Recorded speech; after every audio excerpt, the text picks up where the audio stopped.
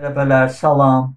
Politologiya fənnindən bugünkü dərsimizin mövzusu Heydər Əliyevin rəhbərliyi altında Azərbaycan Respublikasında hüquqi dövlət quruculuğu prosesidir. Bu problemi biz aşağıdakı plan əsasında öyrənəcəyik. Birincisi, qədim dünyada hüquqi ideyalar. İkincisi, hüquqi dövlət anlayışı və onun elmə gətirilməsi.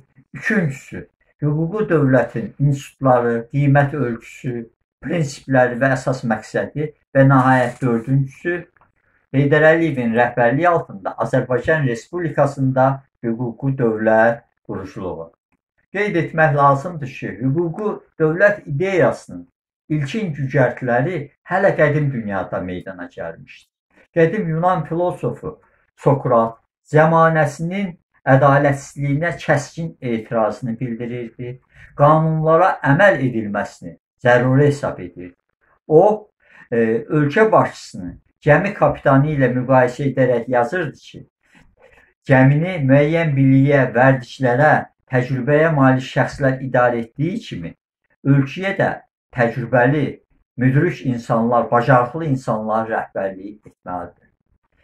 Qədim dünyada hüquqi ideyalara həmçinin Yunan filosofu Platonun Dövlət haqqında əsərində rast gələ bilərik. O, bu əsərdə ideal dövlət nəzəriyyəsini işləyib hazırlamışdır. Onun ideal dövlət nəzəriyyəsinə görə dövləti müdrik şəxslər, filosoflar idarə etməlidir və bu dövlətdə hökmən ədalət qanunları olmalıdır. Göründüyü kimi, hüquqi dövlət ideyaları qədim dünyada meydana gəlmişdir. Lakin qeyd etmək lazımdır ki, hüquqi dövlət ilk dəfə 19-cu əsrdə Almaniyada elmə gətirilmişdir. Biz Almaniyada hüquqi ideyalara toxunmazdan əvvəl ilk növbədə aydınlaşdıraq görək hüquqi dövlət mahiyyət etibarilə nədir? Hüquqi dövlət deyərkən qanunverici, konstitusiyalı, hakimiyyət orqanının hüquqa tabe olması, onlar üzərində hüquqi nəzarətin olması nəzərdə tutulur. Bəzən hüquq başqa sözlə desək, bəzən hüquqi dövləti dövlətin, sosial qrupların, ayrı-ayrı fərdlərin hüquqa hörmət etməsini, hüquq qarşısında bərabər olmasını, şəxsi mülkiyyətin kollektiv mülkiyyətdən ayrılmasını ə, e, xarakterik cəhət kimi izah edirdilər. Hüquqi dövləti bəzən müqavilə dövlətdə adlandırırdılar. Yəni azad şəxsiyyət öz kapitalını, işçi qüvvəsini lazımi istiqamətə yönəldirdilər. Mən bayaq çıxışımda qeyd elədim ki, hüquqi dövlət ilk dəfə Almaniyada elmə gətirilmişdir. Söz yox ki, 19-cu əsr Alman klassik fəlsəfəsinin nümayəndəsi İmmanuel Kant hüquqşünaslığın metafizik əsasları adlı əsərində e, demək hakimi dövlət və vətəndaş cəmiyyətinin qarşılıqlı məsuliyyəti məsələsinə toxunaraq hakimiyyət ölçüsünü zəruri hesab edir. O xüsusilə məhkəmə hakimiyyəti üzərində dayanaraq qeyd edir ki, hakimiyyətdə olan qanunları adətən öz mənafelərinə uyğunlaşdırmağa çalışırlar. Buna görə də qanunlar üzərində nəzarəti həyata keçirən Konstitusiya məhkəməsinin olması vacib bir məsələdir göründüyü kimi e, İmmanuel Kant bu əsərində hakimiyyət bölgüsünün olması, məhkəmə hakimiyyəti, konstitusiya hakimiyyəti olması kimi məsələlərə, məsələlərə toxunmuşdur. Ümumiyyətlə e, hüquqi dövlət deyərkən, hüquqi dövlətin özünə məxsus bir sıra xarakterik xüsusiyyətləri var. İlk növbədə hüquqi dövlətin institutları var. Bura aiddir. Ailə, partiya, ictimai təşkilatlar, əmək kollektivləri, kilsə, hüquqi dövlətin əsas qiymət ölçüsünə isə daxildir. Cəmiyyətdə müxtəlif mülkiyyət formalarının olması, özünü idarə, şəxsiyyətin hüquq və azadlıqlarının tam təmin edilməsi, insanların öz yaradıcılıq potensialını həyata keçirmək üçün demokratik şəraitin olması. Hüquqi dövlətin, hüquqi dövlətin bir sıra prinsipləri vardır. Bunlar aşağıdakılardır. Birincisi, qanunun aliliyi. İkincisi, hakimiyyət bölgüsünün olması. Üçüncüsü, vətəndaşların hüquq və azadlıqlarının tam təmin edilməsi. Dördüncüsü, qanunlar üzərində konstitusiya nəzarətinin olması.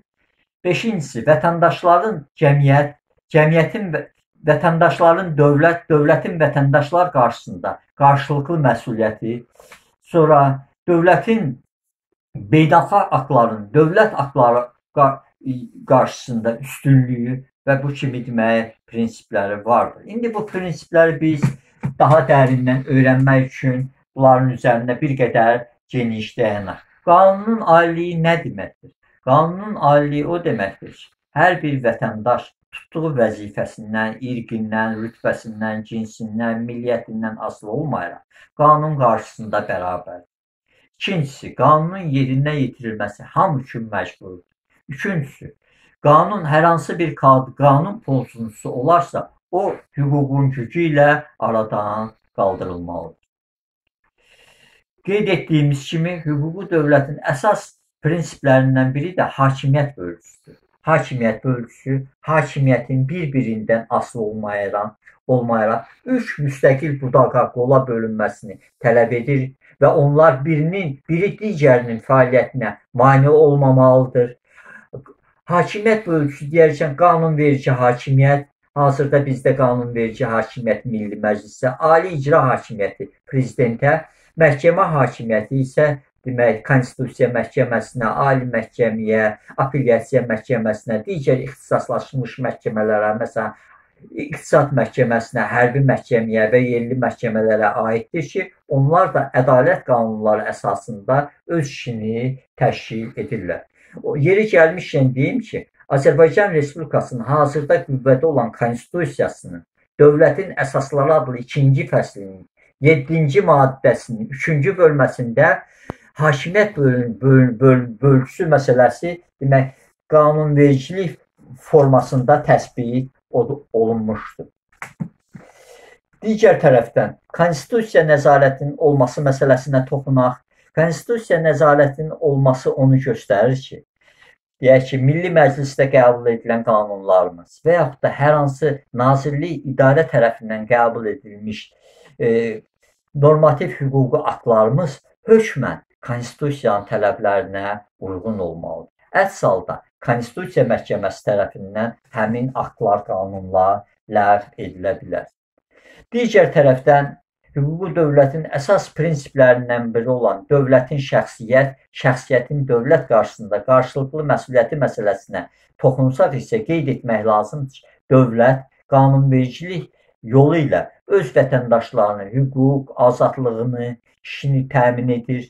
Eyni zamanda vətəndaşlar da dövlət qarşısında müəyyən vəzifələrin yerinə yetirilməsində borcludurlar. Məsələn, vətənə sədaqət, ətraf mühitin qorunması, tarix mədəniyyət abidələrinin qorunması, vətənin müdafiəsi, dövlət vergi və ödənişlərinin yerinə yetirilməsi, e, ictimai bircə yaşayış qaydalarına əməl edilməsi və s. Yəni vətəndaş bəzi vətəndaşlar elə bilir ki, ona hüquqlar, azadlıqlar verilir O nə ist istəsə etsə olar, amma bu cəmiyyətdə xaosa səbəb olar. Buna görə də e, vətəndaş müəyyən çərçivə daxilində azaddır. Yəni o çərçivədən kənara çıxa bilməz. Qeyd etmək lazımdır ki, Azərbaycan Respublikası ikinci dəfə dövlət müstəqilliyi əldə etdikdən sonra Heydər Əliyevin rəhbərliyi altında Azərbaycanda hüquqi dövlət quruculuğu prosesi başlamışdır. Heydər Əliyev hələ 1990-cı ildə Naxçıvana rəhbərlik etdiyi dövrdə müstəqil dövlət yaradılması istiqamətində bir sıra addımlar atmışdı. İlk növbədə SSR-nin saxlanmasına dair ittifaq müqaviləsindən imtina edilmiş, Komünist Partiyası orqanlarının fəaliyyəti dayanmış, Naxçıvanın adından Sovet sosialist sözləri çıxarılmış. Demək, Ali Sovet Milli Məclis adlandırılmış Xalq Cümhuriyyətinin üç rəngli bayrağı dövlət simvolu kimi qəbul edilmişdir. Heydər Əliyev ikinci dəfə Azərbaycana rəhbərliyə gəldiyi dövr isə mən deyərdim ki, sözün əsl mənasında vətəndaş cəmiyyətinin hüquqi dövlət quruculuğunun xarakterizə edildiyi bir dövr kimi hesab etmək olar. Məhz bu dövrdə Heydər Əliyevin rəhbərliyi altında Azərbaycanda milli ordu yaradıldı. Qeyd etmək istəyirəm ki, E, Heydər Əliyev ikinci dəfə Azərbaycan rəhbərliyinə gələnə qədər Azərbaycan keçmiş Sovet konstitusiyası ilə fəaliyyət göstərdi. Lakin müstəqil dövlətin öz ali qanunu olmalı idi. Bu zərurəti uzaq görənliklə hiss edən Heydər Əliyevin rəhbərliyi altında 1995-ci il noyabrın 12-sində ümumxalq səsverməsi yolu ilə demək ilk milli konstitusiyamız qəbul etdi. Bu konstitusiya hazırlanarkən dünyanın aparıcı dövlətlərinin konstitusiya təcrübəsi, beynəlxalq hüquq normaları, Avropa Şuralar, Şurasının tövsiyələri nəzərə alaraq alınaraq demokratik dəyərlərə söykənən zəngin bir, demək, ali qanun konstitusiyamız qəbul edilmişdir. Heç də təsadüf deyil ki, konstitusiyamızın 158 maddəsindən 3də biri, başqa sözlə desək 48 maddə insan hüquq və azadlıqları məsələsinə həsr olunmuşdur. Elə 95-ci il noyabrın noyabrında ümumxalq səsverməsi ilə parlamentdə majoritər və proporsional sistemlə seçkilər keçirildi. Majoritər qayda nədir? Majoritər yəni dairələrdən namizədlərin verilməsi, proporsional sistem isə siyasi partiyalardan nümayəndələrin verilməsini nəzərdə tuturdu. Söz yox ki, fəaliyyətə başlayan parlament qəbul edəcəyi qanunları beynəlxalq sivil dövlətlərin E, qanun yaradıcılığına, Avropa Şurasının tələblərinə uyğunlaşdırılması zərurəti meydana gəlmişdir. Bununla əlaqədar 1996-cı ilin fevralında prezident aparatı yanında Hüquqi İslahatlar Komissiyası yaradıldı.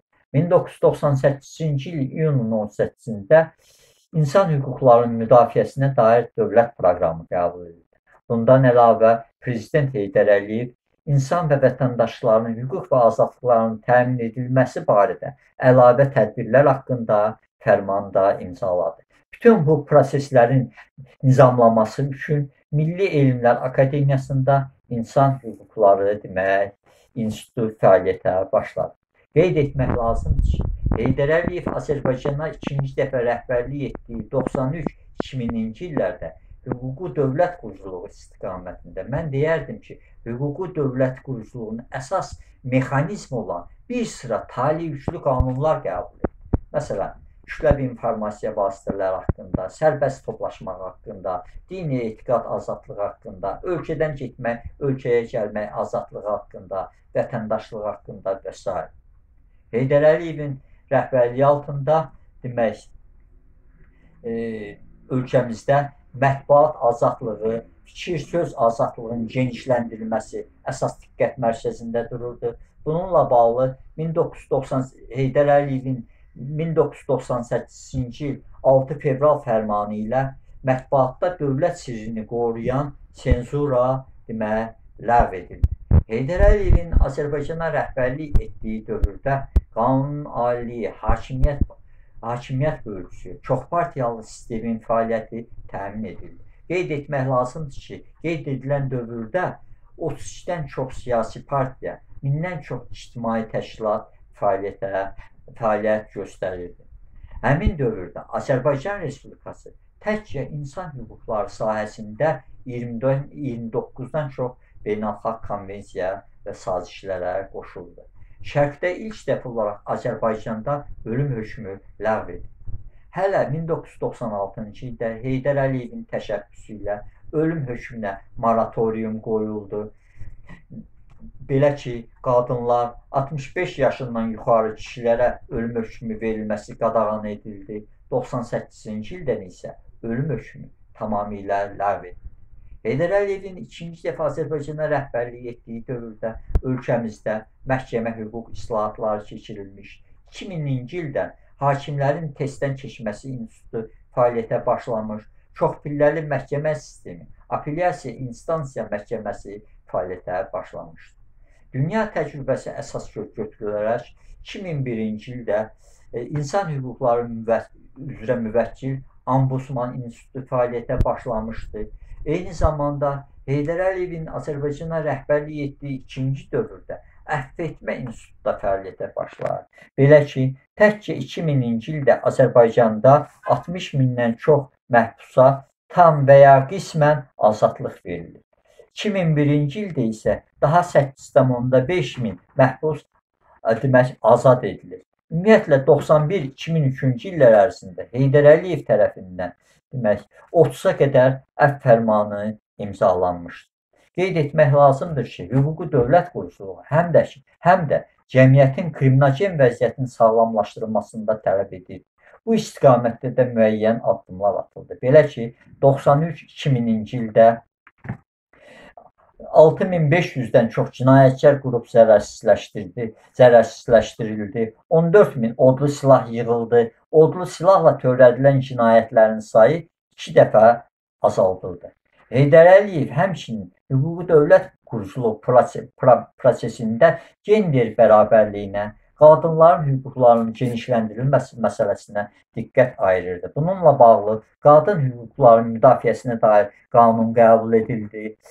Bundan əlavə, qadın problemləri üzrə Dövlət Komitəsi yaradıldı. Azərbaycan Qadınları Təşkilatı Ümumdünya Qadınlar Təşkilatına, Türk Qadınlar Təşkilatına üzv oldu. Ölkəmizin ictimai-siyasi həyatında qadınların qüvvəsindən geniş şəkildə istifadə edilməyə başladı. Heydər Əliyev eyni zamanda insan hüquq, uşaq hüquqlarının müdafiəsinə dair də beynəlxalq konvensiyaya qoşuldu. Qeyd etmək lazımdır ki, Heydər Əliyevin ikinci dəfə rəhbərlik etdiyi dövrdə gənclərə xüsusi qayğı qayğı göstərilir. Gənclərin demək təhsili, mənəvi, fiziki kamilləşməsi, cəmiyyət həyatında fəal iştirak etməsini nəzərə alaraq gənclər dövlət siyasəti haqqında prezidentin fərmanı oldu. Azərbaycan gəncləri qeyd etsək ki, Azərbaycan gəncləri ölkə əhalisinin 66%-ni təşkil edir. Onda deməli dövlət siyasətinin həyata keçirilməsində gənclərin böyük qüvvə olduğunu biz görə bilərik. Söz yox ki, bu istiqamətdə də demək gənclər öz fəaliyyətini davam etdirirdi. Bax bugünkü gündə biz gənclərin könüllü hərəkatının genişlənməsində bu, bu məsələləri deməyə görə bilərik. Deyilənlərə yekun vuraraq qeyd etmək olar ki, Sözün əsl mənasında Heydər Əliyevin ikinci dəfə Azərbaycana rəhbərlik etdiyi dövr vətəndaş cəmiyyətinin hüquqi dövlət quruculuğunun demək formalaşdığı bir dövr kimi hesab etmək olar. Məhz bu dövrdə hakimiyyət bölgüsü, qanunun aliliyi, çox partiyalı sistemin fəaliyyəti, e, demək mətbuat azadlığının genişləndirilməsi, Şərqdə ilk dəfə olaraq Azərbaycanda ölüm hökmünün, sensuranın ləğv edilməsi, Azərbaycanın insan hüquqları sahəsində beynəlxalq konvensiyalar və sazişlərə qoşulması, Konstitusiya Məhkəməsinin fəaliyyətə qoşulması, fəaliyyətə başlaması, insan hüquqları üzrə ambu müvəkkil Ombudsman İnstitutunun fəaliyyətə başlaması kimi nailiyyətlər əldə edilmişdir. Bu gün Heydər Əliyev tərəfindən əsası qoyulmuş hüquqi dövlət quruculuğunun onun layiqli varisi İlham Əliyev tərəfindən uğurla davam etdirilir. Heç də təsadüfi deyil ki, bu gün yalnız insan hüquqları sahəsində Azərbaycan Respublikası 220-dən çox beynəlxalq konvensiya və sazişlərə qoşulmuşdur. Həmin sazişlərdən, konvensiyalardan bəzilərinin adını qeyd etsəm, zər yerinə düşərdi. Birincisi, mülki, mülki və siyasi hüquqlara dair konvensiya, iqtisadi, sosial və mədəni hüquqlara dair konvensiya, sonra BMT-nin qadınların siyasi hüquqlarına dair 89-cu il konvensiyasına, BMT-nin qaçqınların statusu haqqında konvensiya, BMT-nin narkotik vasitələrin e, və psixotrop maddələrin qanunsuz dövriyyəsinə qarşı mübarizə haqqında konvensiya, BMT-nin uşaq hüquqları haqqında konvensiya, BMT-nin qadınlara qarşı ayrı-seçkiliyin bütün formalarının ləğvi haqqında konvensiya, müəlliflik hüququ haqqında konvensiya, BMT-nin irqi ayrı-seçkiliyin bütün formalarının ləğv edilməsi haqqında konvensiyasını, sonra insan hüquq və azadlığın təmin olunması haqqında konvensiya, yerli özünün idarə edilməsi haqqında Avropa xartiyası ekstradisiya haqqında Avropa konvensiyası, müəllif hüququ, müəlliflik hüququnun qorunması haqqında konvensiya, mülki aviasiyanın təhlükəsizliyi haqqında konvensiya və digərləri qeyd etmək olar. Dərsimiz bu qədər. Sağ olun.